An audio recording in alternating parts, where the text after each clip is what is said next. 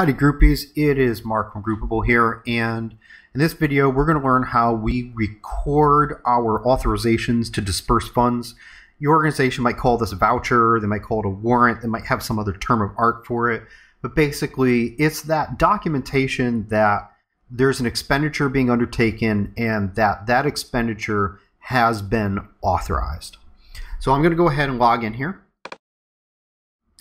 and a couple different ways you can get here. I'm just going to go to the left hand menu, financials, and I am going to go to disbursement authorizations here on the menu. So one of the requisites to this is that you have set up your chart of accounts. There's a separate video for that. You'll want to go look at that. Also, if you haven't watched the financial overview video, it's a good idea to go back so you understand how the pieces of the system fit together and how the overall system is structured. Okay, so I already have some of these here. I've already created some. Basically, we've got a number, check number, dates, amounts, pays, and what it was for.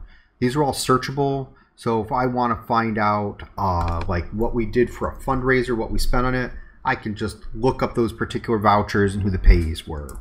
So those are all that way. You can sort them, like I said do by date, whatever you want to do. Any one of these is also editable. And also, if you need to add one, click the plus. So by default, the system will look at what your highest current voucher number is and add one to it to fill that in here. If you don't have any vouchers, you're going to start out at one. You can override that and put whatever, what, whatever your number is for your next disbursement, voucher, whatever it is you call it. You don't have to have the check number because a lot of times you don't know it ahead of time. We default to the current date and we'll just say who the payee is here. So it's uh, Acme Insurance. We're going to pay our insurance bill here. And our insurance is about $2,500 for the year. And then I go over here and I select what account is this going to be. And so I've got expenses. I've got building. This is a building expense, repairs. I actually, I don't have an expense account for insurance. So I can actually select insurance here, click the plus sign,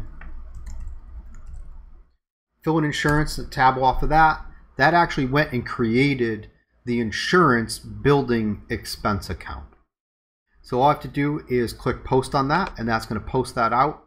And that's really how easy it is to go ahead and record the authorization to disperse funds. So this is an early version of the system. When this goes live, we're going to have a print button here so you can get a print version of this particular authorization because some organizations require an actual hard copy with signatures on it.